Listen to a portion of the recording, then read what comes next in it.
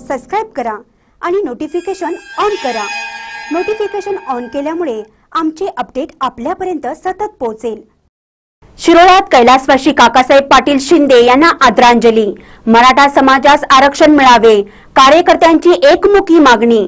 शिरोळ कडकडीत बंद ठेवून आंदोलनाला दिला उत्स्फूर्त प्रतिसाद. औरंगाबाद पुणे महामार्गावर कायगाव येथे मराठा आरक्षण आंदोलनादरम्यान काकासाहेब शिंदे या तरुणाने गोदावरी नदीत उडी मारून जलसमाधी घेतली.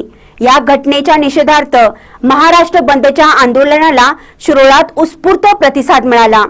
अत्यावश्यक सेवा वगळता व्यापाऱ्यांनी आपले सर्वच व्यवहार दुकाने बंद ठेवून बंदमध्ये सहभाग घेतला.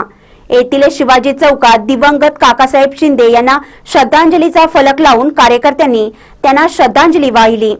त्यानंतर शहरातून मराठा समाजास आरक्षण मिळावे यासाठी रॅली काढण्यात आली.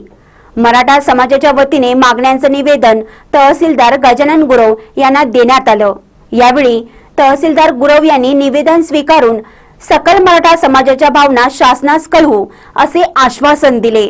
यावेळी संतप्त कार्यकर्त्यांनी आता मूक मोर्चा काढू अन्यथा शासनाने त्वरित मराठा समाजाला आरक्षण द्यावे अशी मागणी करत जोरदार घोषणाबाजी केली.